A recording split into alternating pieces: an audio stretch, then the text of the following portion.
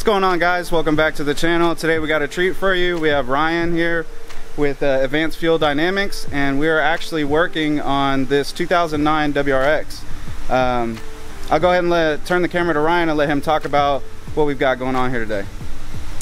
Uh, yeah, so we're working on a, uh, a, new release here with HP Tuners. So this is uh, equipped with our FlexLink setup and with a new patch uh, for the Subarus, we'll now have full flex fuel support for the Subarus, uh, tuning uh, through the HP Tuner software.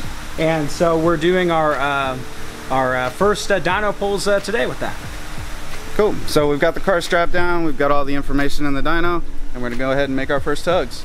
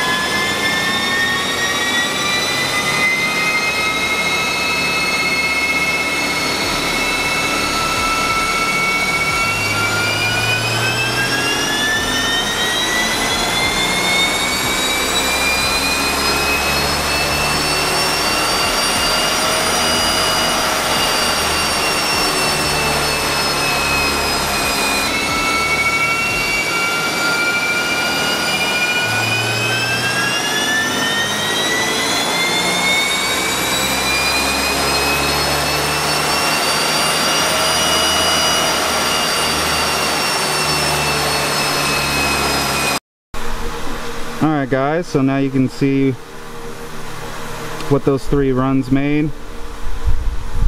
Runs were done in fourth gear. So now we're going to go ahead and start adding some E in it. And see where it ends up. So we popped the tank open, poured some E in it, and uh, now we're going to uh, connect the logger and see what our content is. We're gonna let it run for a minute and then we'll show you a cool feature uh, that's gonna come with this setup and that's the ability to Bluetooth to your phone and read your ethanol content live. We're already showing 55%. So as you can see right here, oh, with the focus, yeah, sitting at 55% ethanol. I'll walk over here.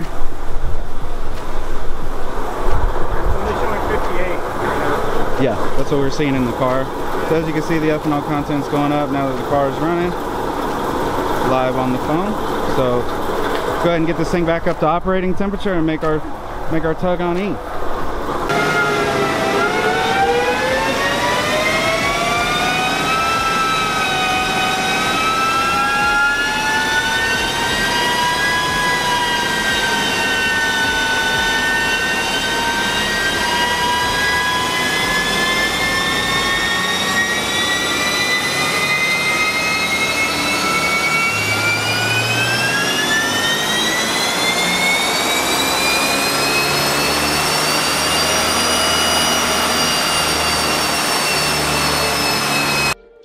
Alright guys, as you can see, quite impressive gains. We're at a 64% ethanol content before the run. Yeah, 67 at the end. Yeah. yeah. So, let this thing cool off and cycle a little bit more and we'll make two more runs and uh, then we'll get an average for you guys. So we got it to blend for a little while and we got our content up. We'll check it again, but we'll go ahead and make our second and third runs now.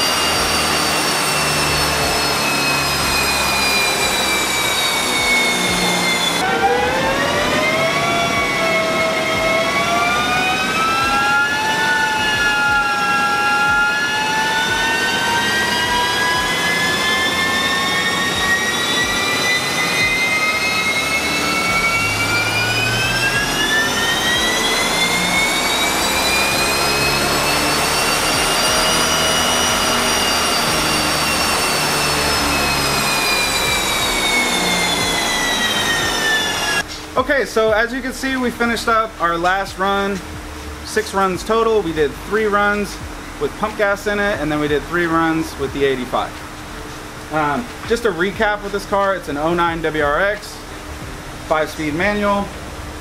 It's got an aftermarket downpipe on it, 1000cc injectors, that's it. Um, the car has been flashed with HP tuners, and all that has been done is the injectors have been sized and that information put into the ECU. That is it. There's been no tuning done other than that. So the numbers that we're seeing, that's what the car would be stock with stock injectors. We just have it calibrated for the larger injectors. Um, so I'm gonna pass it over to Ryan so he can explain a little bit more about the system that's on the car, just to recap.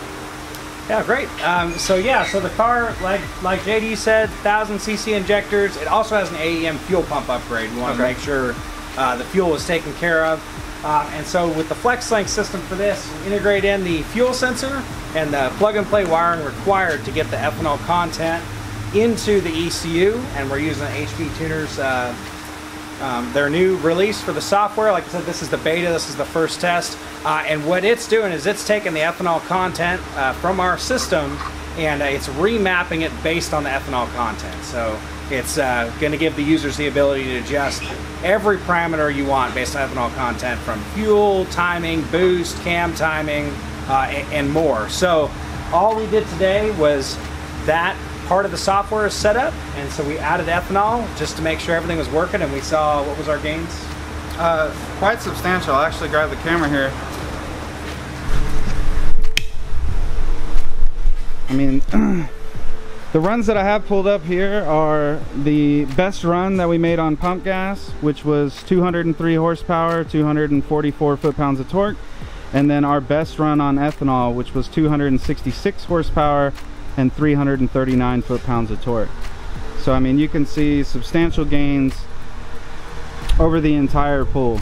Um, right here where you know the Subaru's making peak torque at around 3700 RPM. You know we're dealing with almost uh, what's that 80 yeah.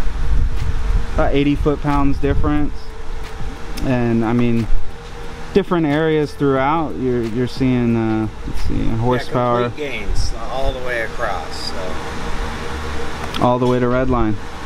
So. So we looked at the numbers and the proof's in the pudding. This stuff really, really works. It's still in the early stages. It's only gonna get better from here. So uh, Ryan, if you could let the uh, fans know where they can get in touch with you or find out more about your product. Yeah, uh, you can find us at advancedfueldynamics.com. Uh, we got lots of information there about E85 and flex fuel technology. That's where our expertise lies. So, you have more info on our products, reach out to us or JD can steer you our way too. Absolutely. So we hope you guys enjoyed this video. Like, share, subscribe, leave a comment down in the comment section below, and we'll see you guys on the next video. Peace.